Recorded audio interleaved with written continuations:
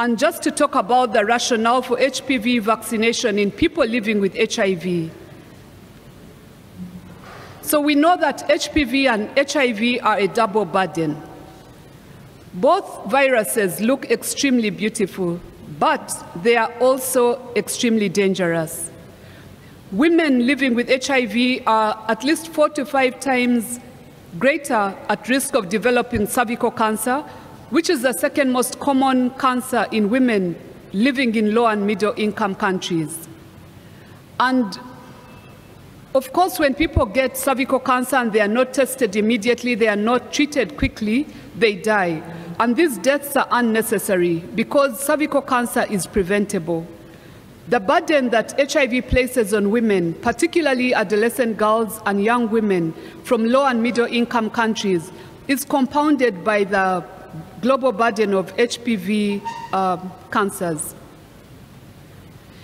I, I, usually use this quotation from um, Her Excellency Gertrude Mutharika, the First Lady of Malawi, who said that today women are surviving the HIV diagnosis only to, to succumb to unavoidable cancer.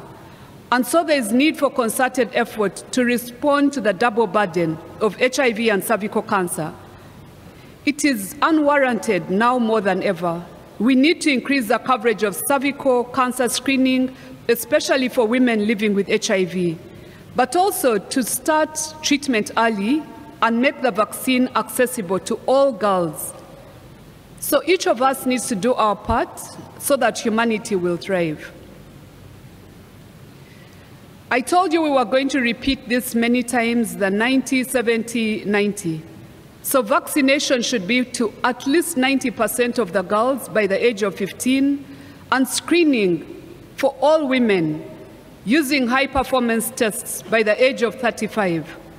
And I'd like to ask, by a show of hands, how many of us women in this room have been screened for HPV in the last three years? Okay, maybe I should have said how many of us are women. All of us? Put... and then how many of us have screened for HPV? So clearly not everyone has screened. And if you are above the age of 35 and you have not been screened, this is a call to you to go and screen when you get back after this conference. The 90% of women who have precancerous uh, lesions should be treated, and those with um, invasive cancer should be managed. So these are the targets the targets, as we've said, are 90, 70, and 90. But as we heard, the HIV targets are 90% of the population tested, 95% treated, and 95 virally suppressed.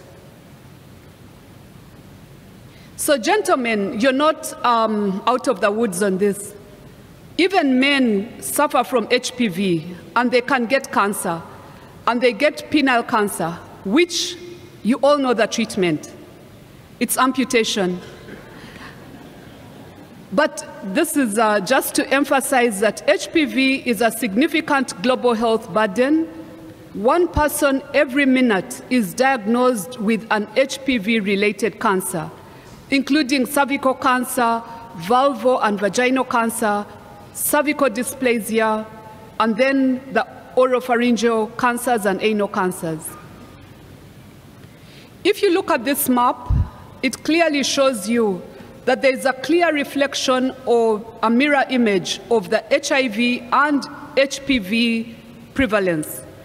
And we can see that in Africa, where we have the highest burden of HIV, we also have the highest burden of cervical cancer.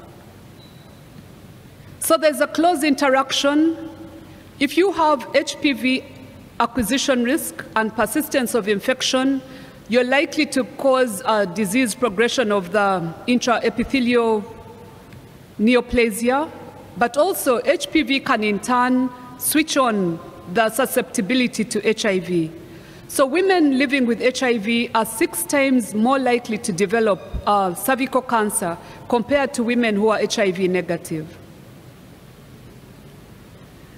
Um, we know that there are now vaccines. There are the bivalent vaccines and also the quadrivalent vaccines, but also the nonavalent vaccines.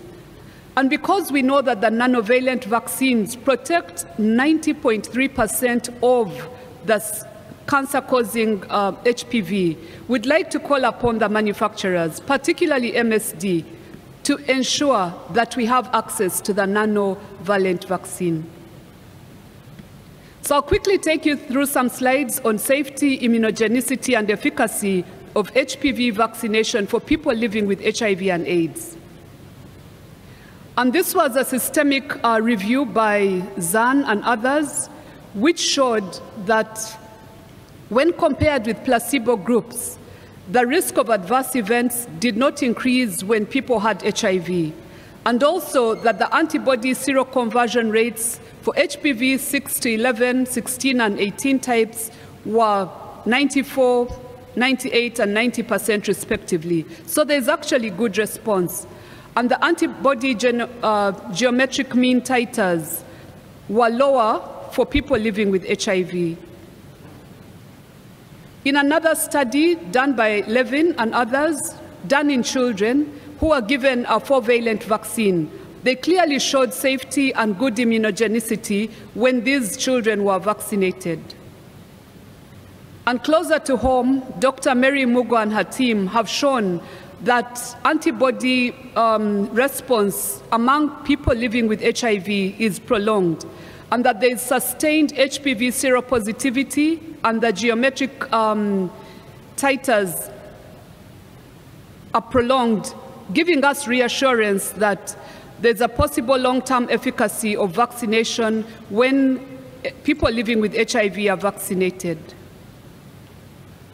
This is a recent study by one of our master's students at Makerere, where she was looking at the prevalence and factors associated with HPV vaccination among adolescents attending a large HIV clinic in Kampala, Uganda. For us, what shocked all of us was the fact that only 1.5% of this population had completed their HPV vaccination. And these are HIV-infected uh, adolescents and young women. There were many reasons why um, they didn't complete. There was inadequate knowledge from the healthcare providers, but also from the patients. There was fear of the side effects of the vaccine. And then the parents don't want to approve their children because they consent. And sometimes they are stockouts. So we need to deal with stockouts, especially as we want to scale up. So just to quickly summarize what I have said, we know that there are high rates of seroconversion when HIV-infected individuals are given the HPV vaccine, and children and adolescents living with HIV should be vaccinated because when they have a low viral load and a high CD4 count prior to sexual debut, they have a better immune response. And we know that HPV vaccines are generally well tolerated among HIV-infected individuals. So these are WHO recommendations that people living with HIV should be vaccinated irrespective of their age, and they should be given at least two doses. And HPV DNA detection should be um, used to screen for HPV. And then the treatment should be possible as well. Um, these are just a summary of uh, other guidelines from Europe and the US, where um, in the European guidelines, they vaccinate, uh, give a three-dose schedule to people between 9 and 26 years. In the US, they vaccinate until 40 years. But for Africa, all we are requesting is HPV vaccination and testing, especially for HIV positive women, should be a priority, especially in the developing countries. And this is just what I already said, that we have to build synergies. We know that there's a big association between HPV and HIV, and I'd like to thank the Interest Conference at this time for ensuring that the conversation on HPV and HIV is continued. There are synergies between HIV response and efforts to prevent, diagnosis, and treatment of cancer. And so the call is upon all of us to reduce the HIV and HPV double burden. Thank you.